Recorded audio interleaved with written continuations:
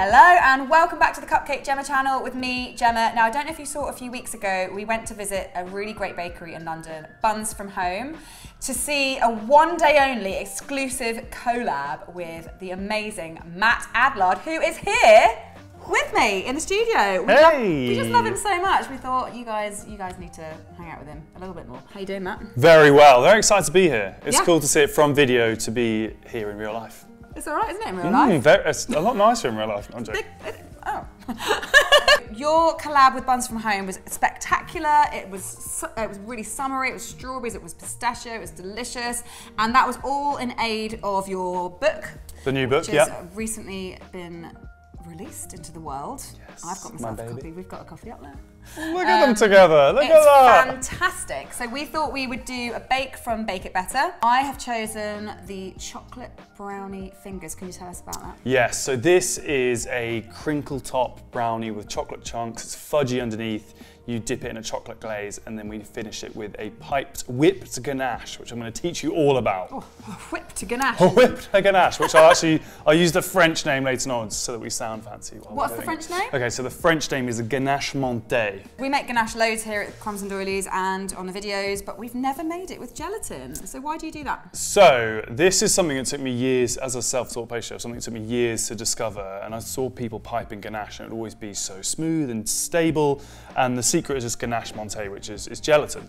And essentially what the gelatin does is it stabilizes it. So when you're working traditional ganache, uh, it can be beautiful to work with, but it can be quite unstable if it gets overworked or it's too hot or it's too cold. And so it can put you into a bit of a panic because you don't know what to do when it's seized. So the gelatin stabilizes it and it makes it a lot easier to pipe. So let's say you're piping 20, 30, 40 brownies. It's going to consistently hold its shape and its texture. And it's also going to be a lot softer because we've got a higher kind of cream to chocolate ratio than you'd usually have. Have you ever tried?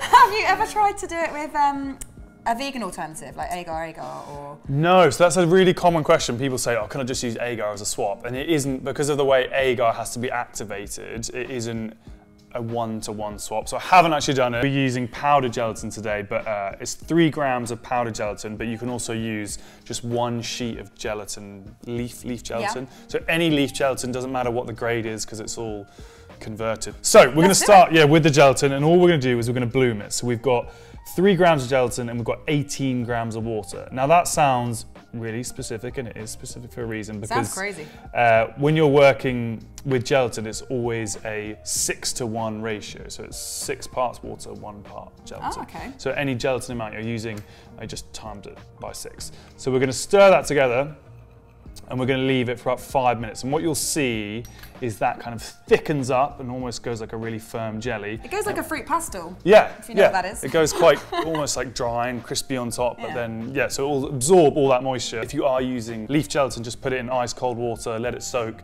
and then you can squeeze up all the water later on, and we'll put that in the cream. Then we go on to the chocolate. So bain marie, we're going to get it on a, a medium low heat just so it's nice and steamy. We're going to take some dark chocolate here, so we're going 70% cocoa solids. We're going to place it onto that steaming water, and we'll just stir it occasionally until it's fully melted and looks something like this.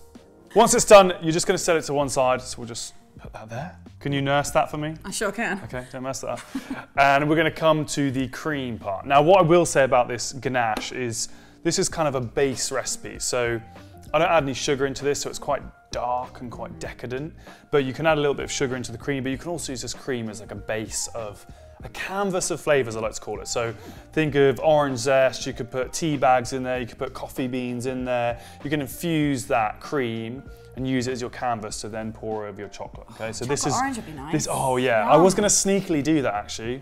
When I was Wish prepping, I was like, I might sneak in a little orange there, so not tell them. Uh, so use this as your canvas of flavor. Get creative with those flavors, whatever you like, uh, and just infuse that into the chocolate. There. So double or heavy cream. It's quite a lot, and we're going to pour that into the pan. And again, just bring this to a gentle simmer so that it's steamy but not boiling. So we are steamy now, and Damn we're right gonna come. we're going to come back to our gelatin. So. You remember earlier when I poured the water in, it was very liquid. So if I just, well, it's all absorbed, okay? So there's nothing that's gonna spill everywhere. So Nice. that means that your gelatin is hydrated. That is the word that we're gonna use. Bloomed. Bloomed, yeah, bloomed, there we go. And we just take that and we scoop it in, bloop, and just mm. stir it through. And the hot cream will dissolve it immediately. Okay, so don't worry about lumps of gelatin. People get very scared of like lumps of gelatin going into a cream. So just stir that through, it will dissolve nice and easy. And like I said, if you're using leaf gelatin, just squeeze that out of the bowl, drop it in again, that will dissolve in the hot cream. So we're gonna pour the hot cream slowly into the middle and Jemma's gonna do very small kind of circles to create an emulsion. Now initially, it's gonna look quite split and probably oily and grainy and you'll think, oh my goodness, what is he teaching us? Because it's totally wrong.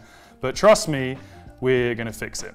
You can see we've come from that oily, messy chocolate ganache and now we can just pour the rest of this Oh, it's so nice. This is unlike any ganache I've ever made.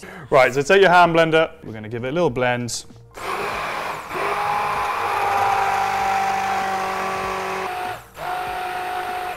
It's very liquid, but that's absolutely fine. The gelatin is gonna thicken it in the fridge. You'll see when we come back, it really thickens up. And because we've got chocolate in there, which has a lot of cocoa solids, again, that's gonna thicken up. So you wanna take, I've got kind of two hacks for you, because ideally with gelatin, anything you use with gelatin, like this whipped ganache, ganache montée, you want it to sit in the fridge overnight, because gelatin needs really kind of 12, 24 hours to fully hydrate, as they would tell hmm. you in the, in the pastry world. But I don't have time for that, okay? So ideally you take as big of tray, as big as of a, big as a, on. Big of a tray as possible. as big as of a tray as possible. Buzzer, buzzer, buzzer. You're gonna pour this out onto a cling film line tray, then put another sheet of cling film on top and put it in the fridge. In probably about two hours, because you've expanded that surface area, it will chill very quickly. And so within two or three hours, it will be ready to whip. One of the things about your brownies is it's very different to ours in that it has a high ratio of chocolate. You've got brown sugar, mm-hmm. a high, like quite a high quantity of brown. Yeah. sugar compared to white sugar. You sling an old, an extra egg yolk in Yeah, there. yeah, yeah, so yeah. Talk, talk to me. Talk So to me. the I tested a lot of brownies for the book, Mm. and you know it's um, it's like cookies. You know, there's so many different variations. So it was just kind of playing around with quantities until like one worked. Yeah. If you're looking for that really fudgy brownie, uh, this is the, the brown sugar is the key. And what I find really interesting about this brownie is when you you'll see the batter. It's almost like a chocolate mousse. Like it's a very moussey texture. You don't use any raising agent, do you? No, so because you're whipping so much air into the eggs and the sugar, you get this almost like meringue-like texture on top, very thin, crispy meringue-like texture, and then underneath. Honestly, when you eat it, you'll be like, this. It's a it's a texture of a brownie I've never really had before, and I, it's the texture I really love. We're gonna start by melting chocolate and butter, and this is the only part of the recipe that really is quite crucial. Because what we're gonna do, we add the chocolate in, we had the butter on top, and we melt it until it's all well melted. And the key is the temperature here. So once you have melted this down, just stir it all together and then set it to one side for about 10 minutes. And what ideally you're looking for is a temperature about 35 degrees Celsius. The thing is, when I was doing this, I was testing it in winter. So I said in the book, like 10 minutes to cool, like no problem. And then I started making them again in the summer, and obviously it took so much longer to cool because it was so hot in the room. So just that's an extra nugget that's not in the book. We're very close to temperature on the chocolate now, so it's about kind of like 37. So by the time we whisk the eggs, it will have cooled down to the right temperature, ready to pour in. So we've got eggs, an egg yolk. We're going to add that into our stand mixer. Oh, I should also say that all the quantities for this recipe are going to be in the description box below, but you can also see them in Matt's book. Yes. so eggs, uh, white sugar, and then this is the hygroscopic brown sugar. So this is what's going to give us that nice fudgy brownie. So we go in with the brown sugar, and we're going to whisk this for four minutes. You're looking for this to be thick, pale, and fluffy. If you drizzle it from the whisk, it should kind of hold a, what do we say in bacon? Like a Ribbon. figure, yeah, like a ribbon, like a figure eight. Should be able to draw a figure eight.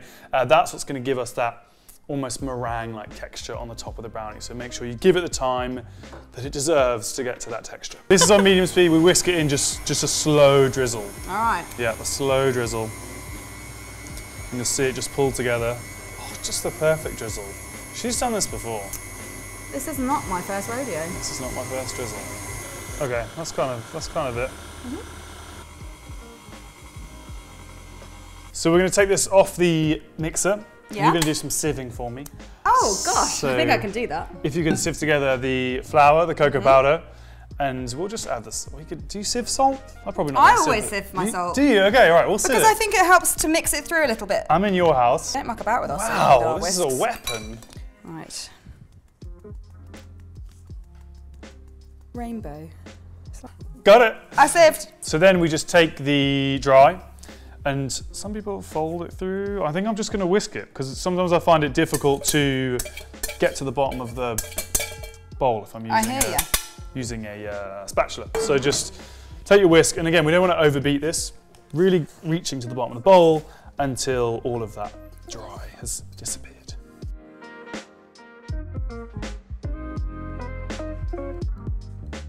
This is a nine inch by nine inch, right? As you can see, I've overlapped, like we do have a loose bottom tin, so it's actually quite easy for us to get this out. But if you don't have a loose bottom tin, always make sure you have an overlap of your baking um, paper. Oh, look at that. So we just pour the brownie batter into the tin. All right, and we'll get it to the edges. Yum. Give it a little spread. Beautiful, beautiful, beautiful, beautiful. The final addition, and this is Mm-hmm. optional, is chocolate chunks. So rather than chocolate chips, I use chocolate chunks because baking chocolate. difference? There's a lot of chunkage going on. A, baking chocolate chunks tend to hold their texture more in the oven, so they don't melt as easily as like a chocolate chip. Uh, so when you bite into the brownie, you get a little bit of crunch to go along with that fudgy texture. But if you just have chocolate chips, or you don't want to put chocolate chips on top, you just get your hands in and just throw them on top. So we have added salt in already, but I just like the, what's the word I'm Crunchy trying to get. crystalness. Yeah, that, that's perfect description. Like the what it does to the up. top, yeah, just like the kind of design it adds to the top. It's not going to add like a ton of salt in it. I would bake at 180C non-fan assisted, middle shelf, about 25 minutes. You want a skewer to still be slightly wet when it comes out. Uh, if you're baking fan assisted, I usually drop the temperature by about 15 Yeah. degrees, 15, 20 165, degrees. 170 probably. Yes. Works. Well, that's what we, we bake ours at 170. Okay, So let's try we'll follow. We'll follow you. In you go. Into the jet engine we go. It's very loud, our oven. um, we're going to start with 24 seconds. 24 minutes, guys. Yes. 24 We'll seconds, I'm going to touch the 24. side. It's a very cool timer. Thanks. I so fancy. I thought it was like built into the oven. I was like, that is futuristic. That would be cool.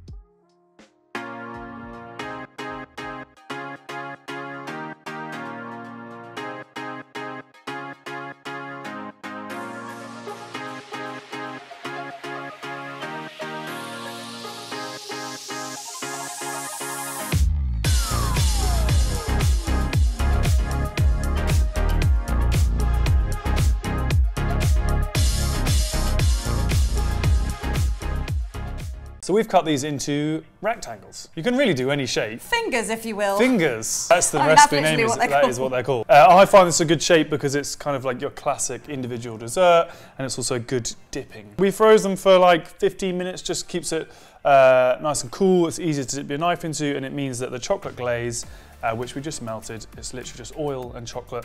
We let it cool to about 40 degrees Celsius. Very specific again, but it just means it's going to set really quickly when we dip in our frozen brownie. So we just take a knife, we're going to dip it in.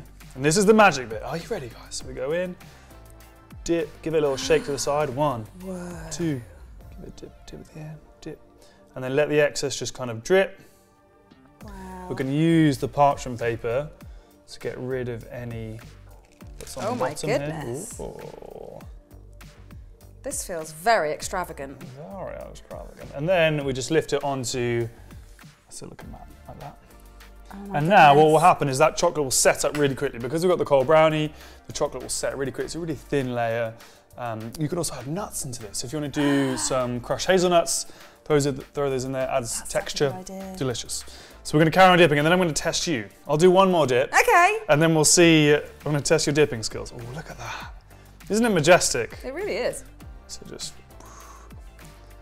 dip it out and then again we'll just give it a little, little slide here. I love this. It's like painting. I'm going to sell this. This is my Banksy. Right, I'm going to go over here. Like that.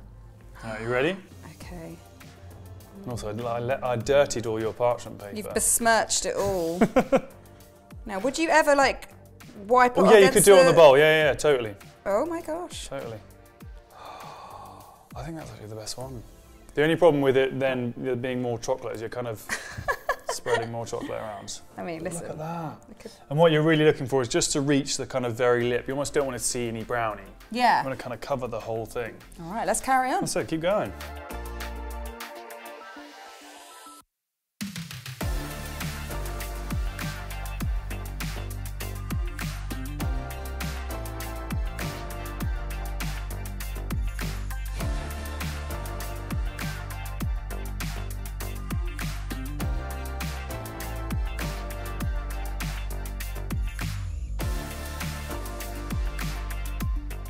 I brought nothing with me other than the spoon. If you're wondering what on earth we're talking about, Matt's brought this mm, amazing spoon, which is specifically designed for quenelling, Rocher.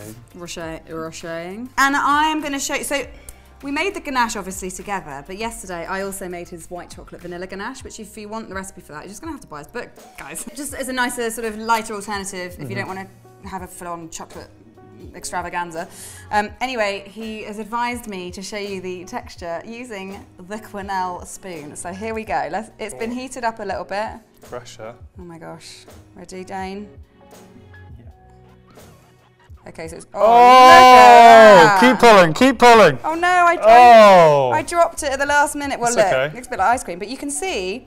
So this was really, really liquid when I put it in the fridge. I was actually a bit worried. I was like, oh, I've done have I done it wrong? Because I've never made ganache like this with so much cream before. But as you can see, the, the gelatin has really firmed it up. It's been in the fridge for 24 hours, and it's looking delightful. That was very satisfying, I have to say. Right, I'm going to put that in my mixer and get whisking. And you can see my texture is quite soft as well, but because this has got the chocolate in it, it's going to whisk up quicker. Like let's go, Less. yeah, let's go there. And we'll keep a really close eye on it. Yeah. No, You don't want to under whip it, but you want it to be just shy of like the perfect texture. And then when you add it into the piping bag and you squeeze the piping bag down, it will just continue to thicken ever so slightly. Gorgeous. Lovely. Right, so now you can. Do you want to whip my chocolate? Oh, I'm going to whip the chocolate. Well, do you know what? I do love a whisk. Okay. So, So, it doesn't need sure. much. It doesn't Why need. not? It just needs a kiss of whisking. Okay. It Doesn't need oh, much. it's, it's quite thicker than I thought. It's yeah. So it shouldn't take too long. Okay, it's thickening. Here we go. You see how that goes from like being very soft to Like whipped cream. yeah. Ganaches in piping bags with a very specific nozzle. So this is a 4B. I've actually not got a 4B. I've got something else, but this is all we had. Cue dramatic music. We're going to do the pipe off. Da-da-da.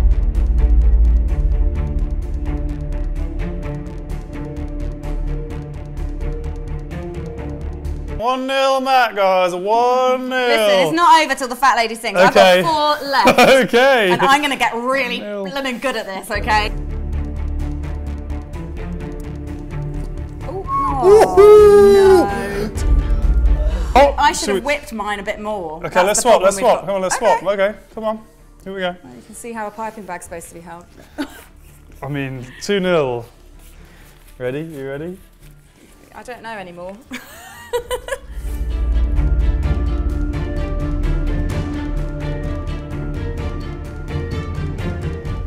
Okay, it was a little soft. I'll give you that. okay, thank you. Ooh. Oh,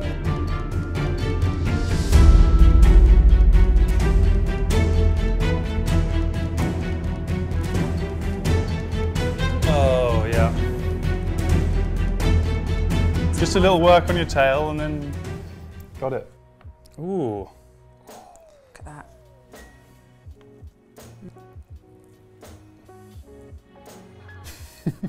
wow, that's so nice. It's really, it is really fudgy, but in a completely different way to our brownies. Mm. Like our brownies are fudgy, but this is different. It's like a moussey fudgy. Yeah, it's moussey. How is that possible? Because it's solid and mousse. And what do you think about the white chocolate ganache on top then? Well, I really like it, but I want to try. You're going to try the chocolate? Yeah. Oh, Oh, I'll take him. you got him. I'll look after him. Wow. Oh, that's a whole different thing. It's just so decadent. Creamy chocolate topping, like fudgy sweet, because we don't add any sugar to the ganache. You've got the sweetness coming through from the brownie. Thank you so much for joining me and baking with me and showing me this wonderful recipe. Honestly, such a pleasure. I started my journey following your YouTube channel, Oh, so to stop be here is surreal, and it's uh, an honour to get to bake for you and teach you how to pipe as well. You know. Well, it's so lovely having you here. Honestly, this is one of the hardest working, loveliest guys in the biz. So if this is the first time you're seeing Matt, then make sure you follow him on all his socials. And also, he's just relaunched his website where you can sign up to a subscription and get all of his amazing recipes and new ones constantly, as well as videos to go with them. So he'll teach you how to bake from scratch and make amazing, beautiful things. We're going to be giving um, a couple of books away, books of Matt's and books of ours, signed copies. So all the details will be on Instagram. So go to Instagram, both Cupcake Jemma and Matt. we'll sync up. Thank you for having me. It's nice to meet you all through Thank the you. camera. Thank you for you. having me. No, I was here first. We just I was here first. I'm leaving. I'm leaving now, Jemma. All right, well, I'm going to leave with these Okay. brownies. Laters.